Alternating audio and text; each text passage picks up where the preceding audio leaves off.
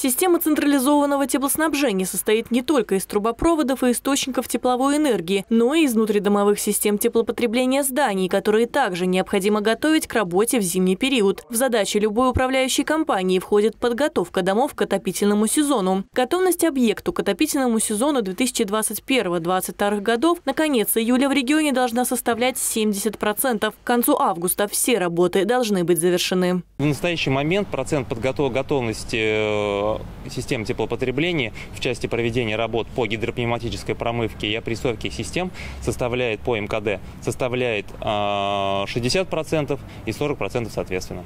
Сроки подготовки систем к работе в зимний период соблюдаются не всеми управляющими компаниями. Промывка, гидравлические испытания, установка устройств автоматизации, организация коммерческого учета потребляемых ресурсов. И это далеко не весь перечень мероприятий, которые обязаны проводиться в жилых домах каждый год. Наиболее частые проблемы – это скажем так, отсутствие учета тепловой энергии, отсутствие различных средств автоматизации, в том числе регуляторов температуры жидкости, предохранительных клапанов, устройств дросселирующих, а, то есть э, именно тех устройств, которые непосредственно влияют на безопасность.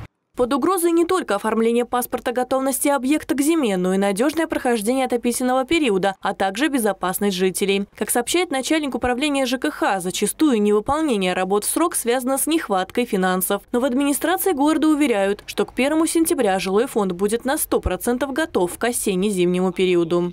Есть э, ряд отставаний по определенным видам работ э, по управляющим компаниям. С данными управляющими компаниями мы прорабатываем совместно с ресурсоснабжающими организациями на еженедельной основе.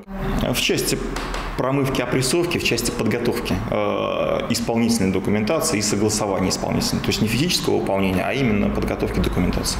До 15 сентября все управляющие компании должны получить паспорта готовности к работе в осенне-зимний период. Отстающим организациям необходимо мобилизоваться, чтобы за оставшееся время все мероприятия по подготовке были завершены. Ведь на кону безопасность и комфорт ульяновцев. Это относится и к муниципальным предприятиям, которые, по информации ряда СМИ, не выезжают на место аварии, что недопустимо, особенно в условиях гидравлических испытаний. По словам представителей Т+, выполнением инвестиционной программы у Гортеплосервиса также не складывается. Оно несколько раз объявляло торги по отбору подрядчика, но ни одна организация на них не заявилась. Связываться с МУПом Панкротом никто не желает, опасаясь, что выполненные работы не будут оплачены. К слову, через сети городского теплосервиса запитана и областная клиническая больница. Трубопровод там изношен, регулярно подтапливается, так что никакой гарантии, что учреждение здравоохранения благополучно пройдет следующий отопительный сезон, нет. При этом никаких разногласий с Т+, руководство МУПа не выражает ни по объемам транспортирования, эксплуатируемого ресурса ни по потерям на сетях предприятия, ни по границам раздела. Подтверждением тому является договор, подписанный обеими сторонами. Почему происходит то, что происходит, непонятно.